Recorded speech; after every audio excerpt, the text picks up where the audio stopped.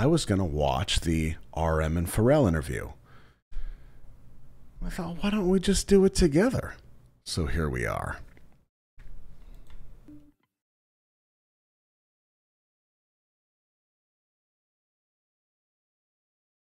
Give you that. So that Mandy, that's why I said tonight should be an easy night because aside from bicycle and this, it just makes sense. Um,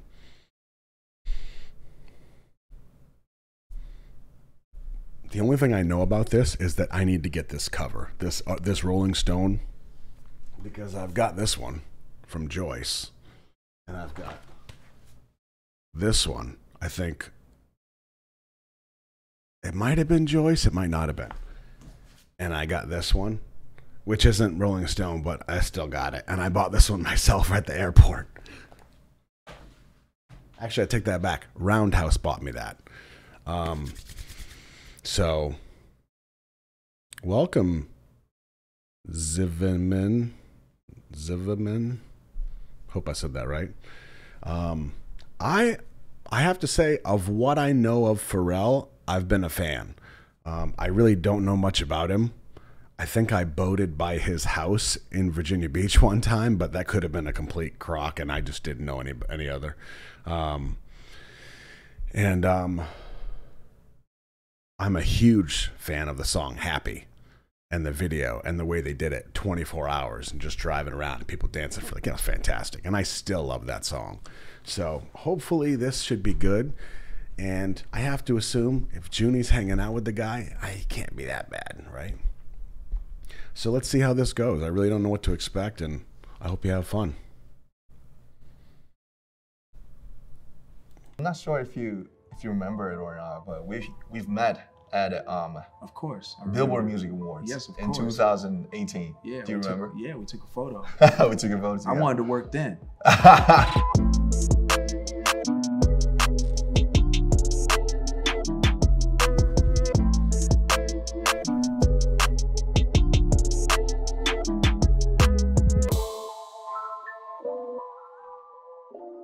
First of all, thank you for having me. Thank you for having Thank me you for as having well. me as well.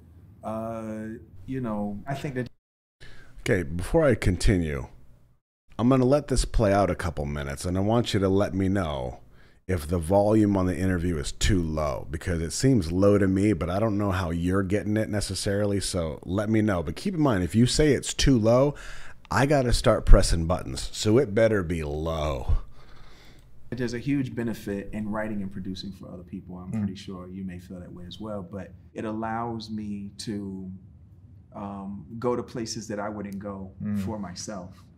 And as much as it feels like, you know, I may know what I'm doing when I'm doing songs that I'm, you know, uh, featured as a solo artist, uh, some people know, but most people don't know that all of my solo efforts have always been songs that I have written and produced for other people. In fact, when I try to write songs for myself or produce songs for myself, they always are too complex and seem much more like a puzzle Mhm.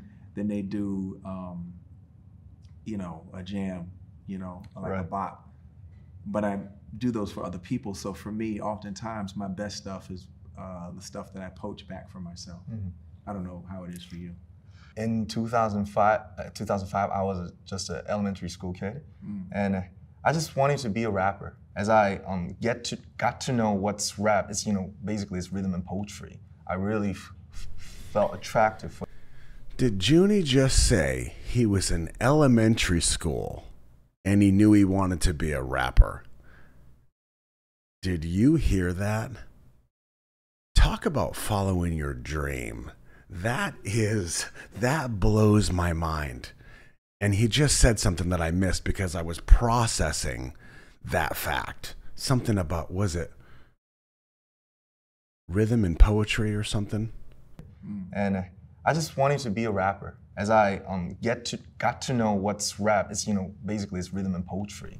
I really f- f- felt attracted for this whole genre to you know send the messages to the world. Actually, it's really um, you know embarrassing to um, answer about all this in front of um, my um, idol, but for me it's um, Okay, I, I have to I have to say this because I'm feeling it and I have to get it out. Can anybody else feel like Junie's a little bit nervous right now? Is anybody else getting that or is that just me? I mean, I would be nervous in either one of their shoes, obviously, but like he feels really nervous and like it's it's kind of hard to watch, right? Ugh. Oh man. For me, it's it's really it's really more comfy to you know mostly for me I I, I write somebody's lyrics or, or the melodies for, for for other artists not ma- as many as you but it feels like you know it gives me another avatars and characters. Yes. yes. So so when, when it comes to me um it's a complex and it's it always comes with the pain you know to to confess mm. but it's still um, the most important part for me. I can relate to that. I think uh, the pain part for me is probably the fun part because that like mm-hmm. that's like some of the most vivid paint mm-hmm. that we can use as artists when we're like filling in mm. what we want to be a, vi- a power, powerful verse. It's like, okay, does it hurt enough? Mm. Did you hear that line? Okay, I know I'm going to drive a lot of you crazy because I'm going to have some commentary on this. What Pharrell said was so brilliantly put. Junie's talking about pain and complexity. Pain part for me is probably the fun part because that like mm-hmm. that's like some of the most vivid paint. Mm-hmm. Pain is the most vivid paint that you can use. Mm. That we can use as artists when we're like filling in what we want to be a, a power, powerful verse. It's like, okay, does it hurt enough? And you know what that reminds me of? The D2 live stream that we did. When we deep divined, deep dived D2, Yoongi on paper. Oh, you talk about pain and vivid paint and the way Yoongi threw D2 together. Oh my God. You know, or does it feel good enough? You know, um, so I, I understand you there when you say, you know, you know, you you you inject the pain in your verses to make sure that like, Right. you know, they're strong. Uh-huh. I agree.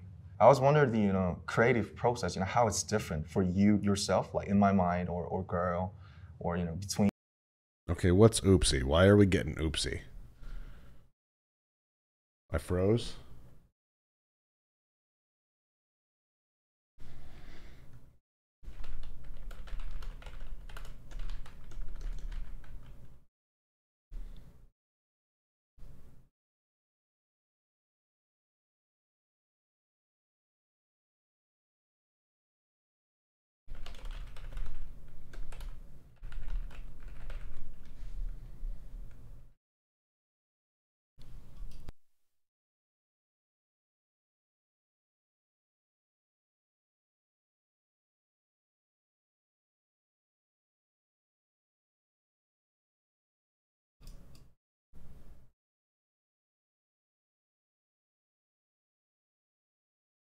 All right, are you getting me now? Are we still good? What's going on here? Okay, there I am. Yeah, there I am.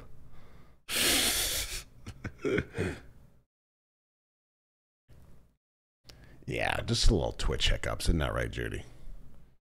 So now, if that happens again, and it probably will, I'll make an actual adjustment instead of slapping the monitor like I just did.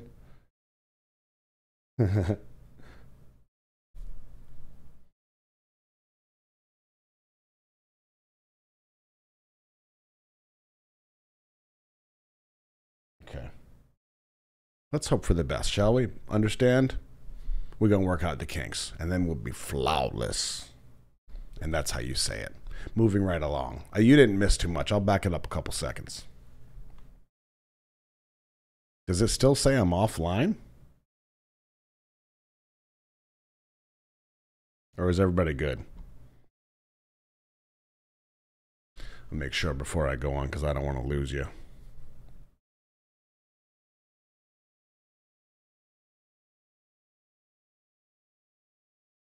All right, I guess we'll keep on trucking.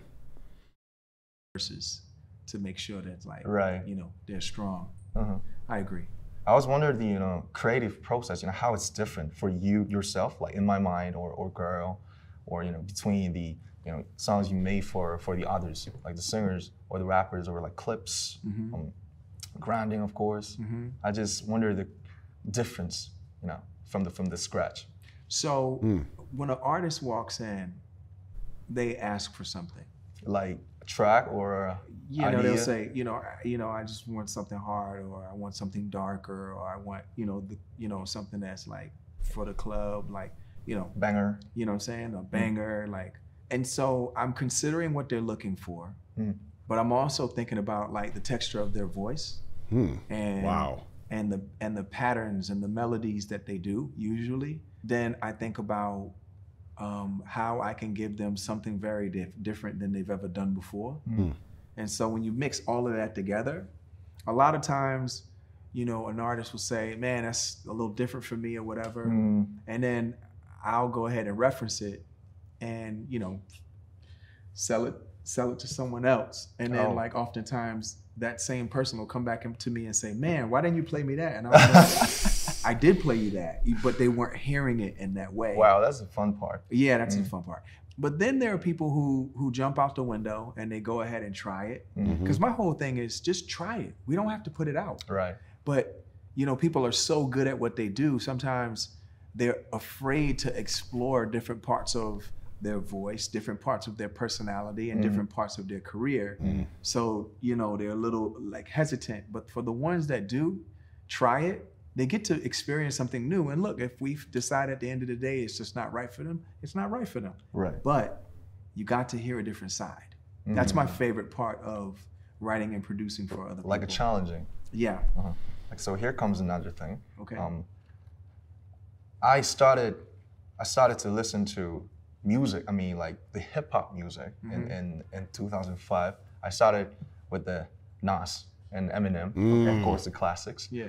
But uh, you know, as I get to know you, when I when I first listened to your song, especially, I just want to point out "Take It Off" Yeah. because that's my um, that's my playlist, one of the Whoa. playlists. So That's crazy. when I when I listened to it, I just I even I even wrote I even translated it into Korean and I just just recorded once when I was an I'm amateur. Whoa. So so you know when I listened to it, I just always been wanting to have the you know frequency like you know because you always cross over this.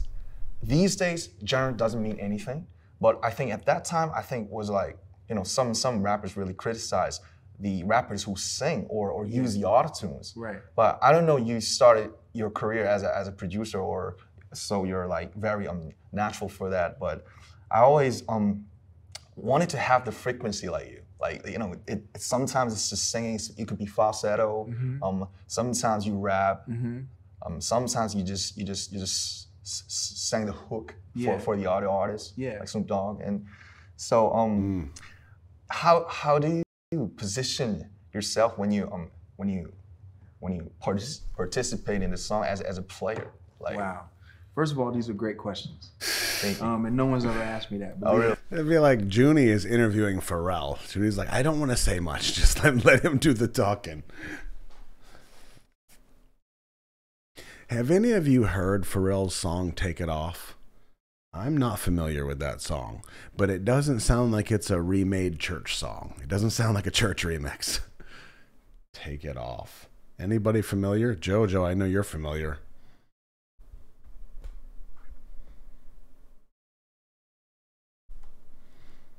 Jay's going to look it up now. I can only imagine, though. But it's on Junie's playlist, so it must be good. Take it off. It's expensive, girl. What does that mean?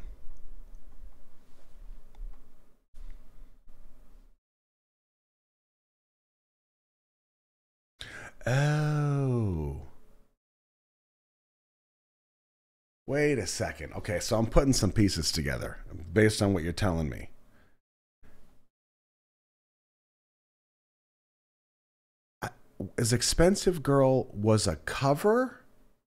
Or was it sampled? He translated it. So you're telling me that Expensive Girl was a translation of Pharrell's Take It Off? Am I am I reading this right? Get out of here. No. Get out of here.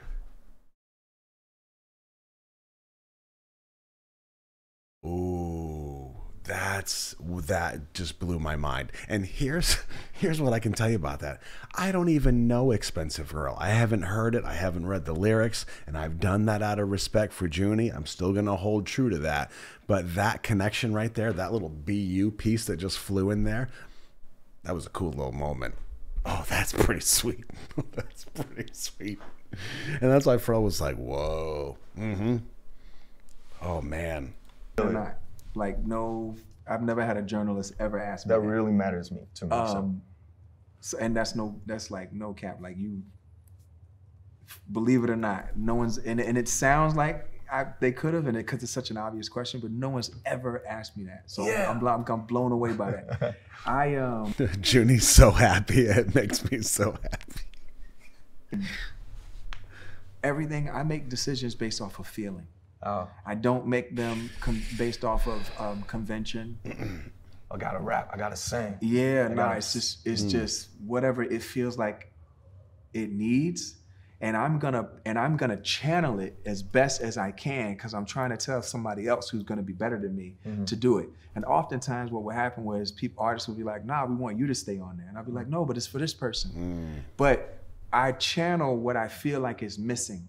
Mm-hmm. And I f- and I forget that it's gonna be me because if I think that it's gonna be me, then it won't be as good and I won't be as confident. I'm only mm. confident knowing that I am giving the instruction and the directives to someone else. Hmm. Like for example, there's a hmm. record that I did with um, Mystikal a long time ago called Shake- Mystikal. Yeah, Wow. Yeah, sh- shake your ass, right?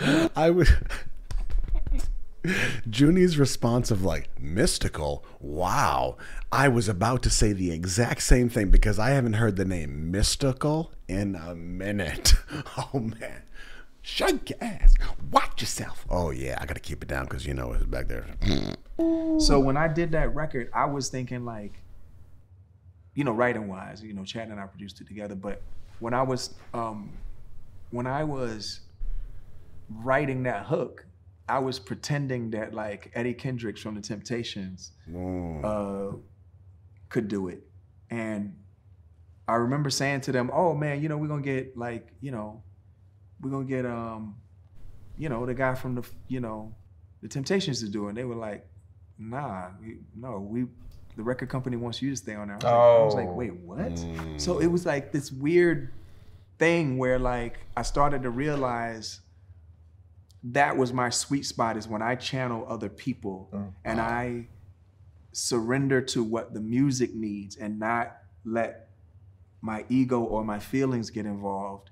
And then I actually make better decisions, whether it's gonna be me on the song at the end of the day Or, or, or not other artists. Mm. or another artist, mm. I've given, I filled in the blank and, and given them a different feeling. And oftentimes, sometimes I would be sharp, you know, when I'm Yeah, singing on there, Mhm. but it just felt good, and we would just leave it. So wow. I'm not sure if you if you remember it or not, but we've we've met at um, of course, Billboard. Music Awards Yes, of in course. 2018. Yeah, Do you we took- remember? yeah, we took a photo. we took a photo I wanted to work then, but I didn't. You know, I didn't want to like. I didn't want to like. You know, be aggressive. So I was like, oh, So- no, let's just take a photo. But, You- you but were- I'll tell you what's aggressive is these boots, both of them, on the aggressive boot game. Nice. But I really wanted.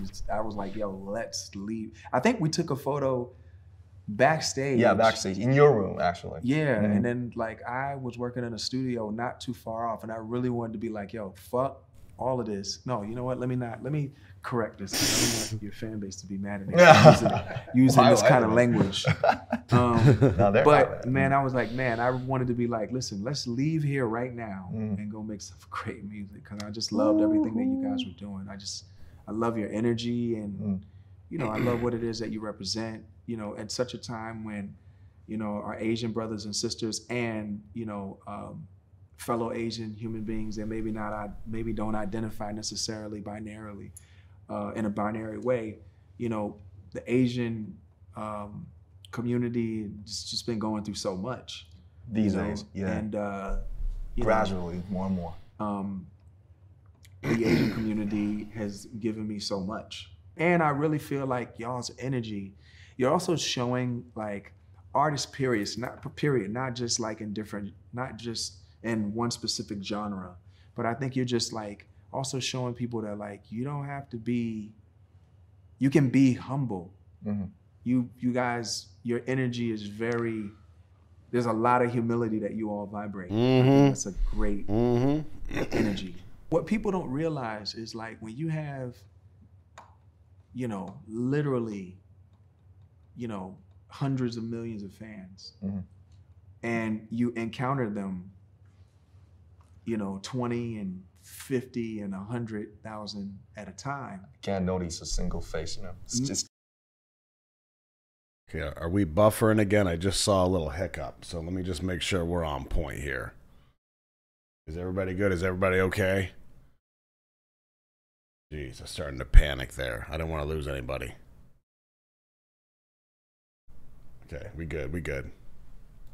Just a Man. just a mess. It, it, it- yeah, it's M A S. That's not a not a, yeah, yeah. It's it's a mass. It's a mass. and, yeah. and it is a massive voice and Mm. it is a massive using that word mass it is a massive energy Mhm. coming at you Mm-hmm. and you say jump and then they jump. and they jump and you sing and they sing every word Right. Mm. and you know that you can feel through their voices that so many of their lives have been affected and changed because of something that you've done That's I don't know how you. believe. I, I don't know how you do that Mm. because I've had a couple songs do that, and then when I get out there and go sing it, that that would make me cry because it was too much of a responsibility. Every time I get that close to that size and and what I do as a musician, I always step back. You picking this up? This is crazy. Pharrell's not a small star. Pharrell's huge. I mean, and he's acknowledging the idea that BTS is changing lives, like legitimately changing lives with their music. And when Pharrell reaches that spot, that he approaches a song that he's done, he's had that effect. He starts to like kind of struggle with that and he pulls back. He stays away from that space. But what does BTS do? They lean into that space. They embrace that space. And that's why you get these videos of like the entire stadium singing the song where you can understand every single word because there's 100,000 people singing those. T- oh, man. Oh, man. This is awesome. Oh, why? It's like, is It's- it, is it too heavy? It's like, It's too heavy, man. Too much? It's too much of a responsibility. That's why I mm. really revere people like yourself and you know your your your band members and other artists like B and J and like man, what y'all go out there and go face every night on that stage. I'm gonna I'm gonna give you some insight here. This is my this is my guess here. Watch Junie. We know Junie's a smart dude, whip smart dude. Junie is extremely introspective. Okay. I'm gonna go out on a limb here and say that Junie is fascinated by the human condition and the psyche. Watch Junie's body language change a little bit when he starts understanding what Pharrell is saying about the responsibility and how Pharrell deals with that responsibility versus how they do it. So watch Junie. That's why I really revere people like yourself and you know your your your band members and he's locked in right now. He's seeing that like the way that BTS handles these shows and the way that they're all done and how they get in there. I mean, they have shed tears upon tears upon tears on stage or in interviews or in shows. Like they have been as vulnerable as can be to millions of people. And at some point, I have to assume that that becomes part of the journey. It's part of the process, right? So for him to look at Pharrell, who he acknowledged in the beginning was like kind of one of his idols, and Pharrell saying like, "I don't know how you do that," Junie's, I'm guessing, taken aback a little bit, and he's kind of saying like, "There's another side to this coin that is so natural for us that we live in that space," and he is absorbing everything that Pharrell is saying right now. Oh, who is that? Was that Cobalt. That's um Brian. The intellectual conversation that Junie craves. Boom. Other artists like B and J and like, man, what y'all go out there and go face every night on that stage. It is it is humbling and it's Mm. overwhelming and sometimes your nervous system got to be built for that. Of course. Let me ask you this: How do you deal after you come off the stage feeling electrified and shocked every night? How do you how do you how do you decompress, or do you decompress, or do you purge? Like, how do you do that? Mm, that's a good question. It's you know it. I I um my first performing was um in front of like ten people in some small clubs when I was like fifteen. Okay. And um, I like forgot like all most of the lyrics. So at that time, I just realized that oh, I'm not a you know I'm not a star type. I'm not a you know like a like these like a front man and you know could enjoy all this shit and just you know like like like Kurt Cobain or Yeah, or yeah. Mick Jagger. I'm not that type of. I'm just a human just who loves writes writing music and just you know uh, the energy. So Wow. every night. Um, like for example, we had um these stadium shows in Las Vegas last April. Yeah. It was four, but like every night is a is a challenge. It's like same set list. Um, um, you know, it's like maybe the same flow, sort of little different, but um, just like you said, that moment, like after we finished the first three beginning songs, and then we, you know, take out the earphones, and then like we just like, we're. Yeah. we're fucking back. It's like that's like everybody shouting out. At that moment, you know, that's when I really um gets all, all the nerves. Um and like, you know, it's a there, there's a different different me persona for for the for the next two hours and a half. But, but Wow. before that, from the rehearsal and even in the plane, I got really like really nervous and you know like so responsible because I like I really am aware of the stories that you know fans buy the tickets and they come from Brazil, you know, from Japan. Oh, this uh, I was I was thinking it before he said it. When he's talking about his nerves, right, and the butterflies he feels. First of all, like it, it is surprising, but it's not surprising that he still gets butterflies before these shows. You know what I mean? Um, but the responsibility, it's like, okay, there's a responsibility, like there's the weight and the anxiety because like you want to do a good job. You don't want to make an ass out of yourself in front of this many thousands of people, obviously.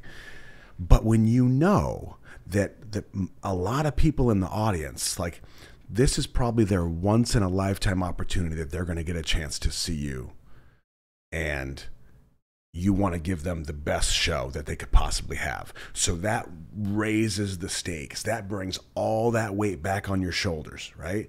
And he's just saying, like, people came from Brazil, they came from this far, they got the tickets. It was like the Hunger Games. He's aware of all that. So when he steps out on the stage, there's just this massive weight on him. Like, that's how it feels. I can totally get that. But, like, before this conversation, did you ever think of that? I never thought of that. I mean, I can get like performance anxiety. I understand that, but knowing that and carrying that out on stage with you, yoza, wow. career, like from everywhere.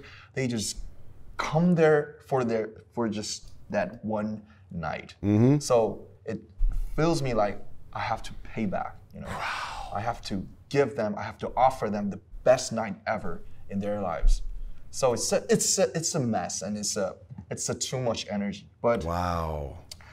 Um, I'm a human, and I really get nervous, and I really sometimes get depressed by, and even you know, get swallowed by all the energies. But I'm trying, and I'm, I'm I try to deal with it because I'm a human, and I love the music.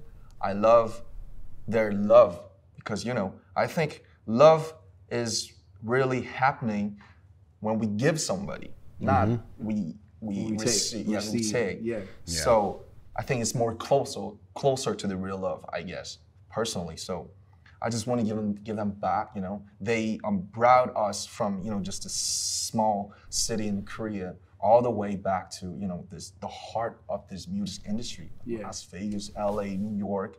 You know, me having an interview with Pharrell. It, it, it can happen because of you know fans all over the world. I'm just always grateful, and I just don't want to disappoint them. How do you define? How do you position yourself? Like you know, you're a producer. Yeah, you may be a rapper. You may be a singer. Yeah. You may be a CEO. Yeah. Um, father. Yeah. a husband. Yeah. Like what's what's um like you know I'm for of course the the the name Pharrell explains everything, but like you know but ex- except that how do you how how will you define yourself like um I don't know. I mean, you know, I'm a, I'm a, I'm a public servant first. Public servant? Yeah. I like that. I like that word. That is not what I thought he was going to say. I mean, I, f- I thought he would answer very generically with like, "Oh, okay, well, I'm I'm a husband, I'm a father, and then I'm a producer." But no, a public servant. That is, man, Pharrell just got some points on. him. Uh, yeah, and I, you know, when you serve the public, you know, you're doing, um, it's what Something that's- for that's- public. Yeah, and that's that's God's will. I'm a believer. Oh, you believe it. Yeah, I believe. You know, the universe is real. Um, for me, God is the universe. We're in the universe. Um, and then you know, again, you know, being a public servant, you know, being, you know, a father, a husband, um, and then music is like everything for me because music's the, the skeleton key that's opened up every door. Still, me to- still yeah. music. is- Yeah, it's like the mm. center of everything. Because without that, I wasn't able to do all the stuff that I'm able to do. And then I definitely had my struggles with having a, a lack of a sense of purpose. I think.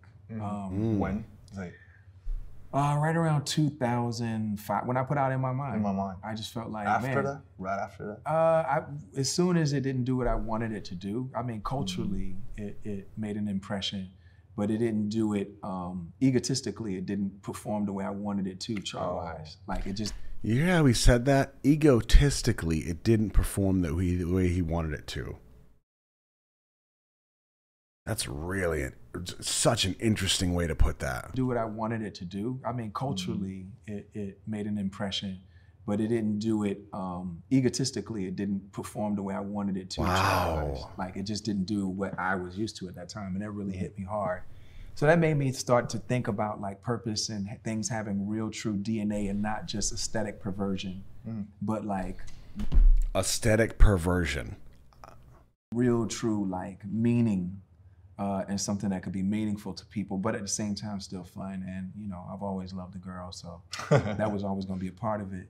But um, so I understand what that is. I know what it's like to hit that part, that place in your career, uh, and for whatever reason, and, and you guys are doing fine. But I think, you know, from what I'm hearing and what I'm understanding, uh, you guys hit a you hit a place where you were like, you know, what are we doing? Who are we? Are we who we said we were? Right. You know, um, and and you know, as you think about who you are and you think about what you mean and what your intentions are, it's like also kind of determining who you want to be. Um, I mean, how's that? How's that feel? Like, wh- where are you in that process right now? That is an awesome, awesome question. Where are you in that process right now? Because this is a process, not an event. You're working on a solo record, right? Yes, like ninety percent of the work is done. I've, Okay. I've released some mixtape as a you know one of the member of the band, but I think it was just a, like a like experiments. I think this time it's my maybe like maybe my official first solo album Okay. that I could feel enough. Okay. I don't know it's gonna be like um, I, I don't know it's if I if I would feel like you after in my mind or not, but I Right. think you know it'll happen after after when I release it. Yeah. So I just I'm just dependent on, on Okay, can I just pause? I want to ask this question. So he just mentioned, he, uh, Joonie just mentioned the mixtape, and he said it was like an experiment or whatever. Was he talking about RM's mixtape, like his first one, or was he talking about mono? Because I'm I'm honestly not sure. He's talking about both.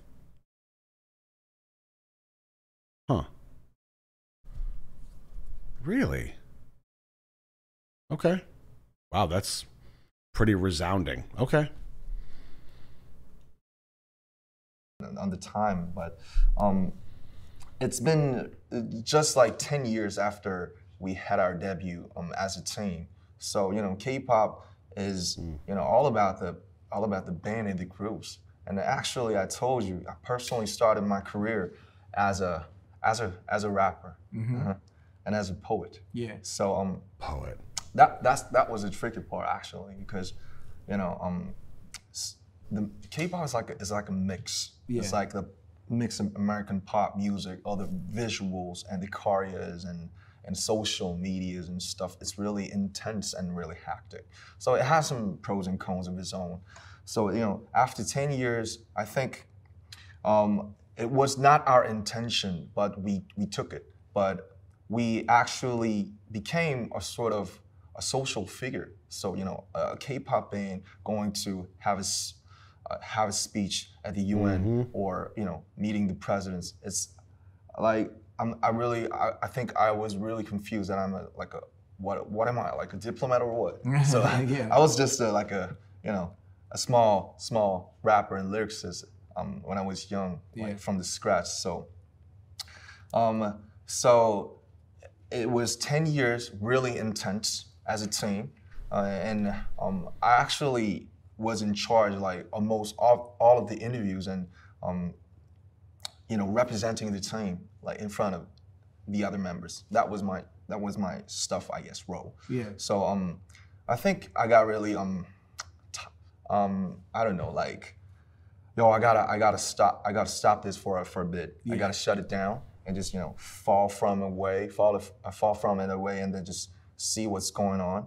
You know, making my mind really um, calm down. Yeah. And then I think so. That's how I um, got to concentrate on my just just solo. And I these days I really have been thinking about the the 15 when I when I first listened to you. You know, the first um, feeling and the vibe and the reason why I started what I why I chose music to Yeah. you know for my whole life I guess. So um, yeah, when I was when I was when I started my music, I was like 14, and now I'm like 28. So it's like just the half. It's like you know, it's like short, way shorter than you.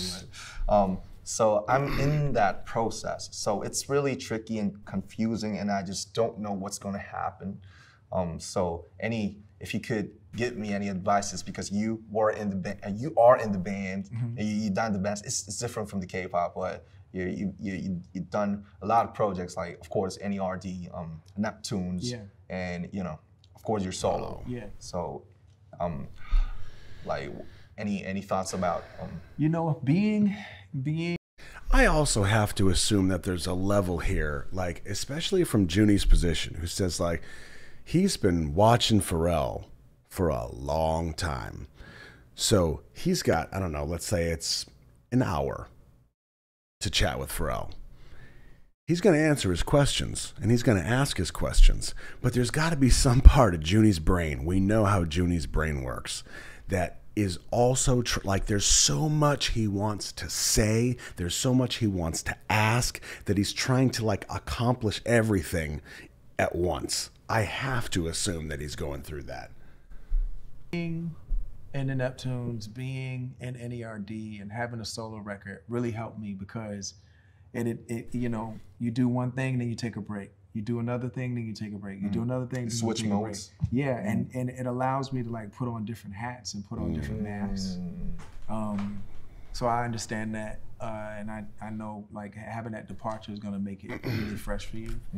Um, I think it's good for you to do that because then when you come back to it, you know, to the, to the To the team. yeah, I think it's gonna be yeah to the team. I think it's gonna be super fresh. You're gonna have a whole lot of ideas. Mm-hmm. I would just say continue to move forward, continue to be curious. Mm-hmm. Um, and Mm, good don't one. put any kind of necessary pressure on what it is that you do by saying, you know, no absolutes like, oh, I will never do music again, Mm. or I will never. I, I wouldn't do any of that. I would just no nevers. no nevers. Just There's the moral of the story from Pharrell. Be curious, no absolutes. Write that down. Be curious, no absolutes. stay along for the ride. Just keep mm. going. Cruising. Yeah, and just see where you end up because it's really interesting. Thank you. Nah, thank It you. was a bless. pleasure's mine. I can't believe it's over already. Are you kidding?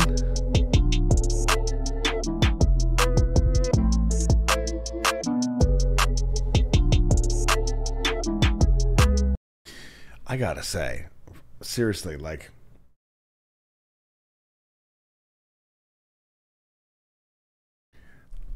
I said in the beginning, I've been a fan of Pharrell. I mean, I don't know a ton of his music. I mean, I know some NERD. Um, I know Happy. I know, you know, like he did Drop It Like It's Hot with Snoop. Um, but like this interview was extremely good. Like, yeah, obviously, like we can feel Joonie's nerves. That's for sure. Um, and I think even Pharrell, I don't know if it was necessarily nerves, and it might have been, but I think they both had the same issue of like, Here's what I think it was. I think both of their questions to the other ones were so complex that, like, as an answerer, you have to take all of this information and construct it down to something digestible and then present it to the other side. That's not easy to do. I mean, like, if it's okay, perfect example, I know you'll understand. When somebody says, Why do you like BTS? And your head explodes. That's exactly because there's so much information up here that you have to try to like, uh, how can I answer this question without scaring them away or making them fall asleep because I'm just rambling on for three days? Exact same thing. These two are so in music and it's part of their DNA that all of these questions and the fact that they know what to ask and how to ask it to the other side that is no small feat. So bravo for the two of them. And seriously, be curious, no absolutes. Pharrell, that is on. I love that. That might be my next tattoo. Maybe right here. You know, just right on. Like, hmm, hmm. And then mono backwards right here. Yeah. And then Gino, right, small on my back. You know, because I want to keep it fresh.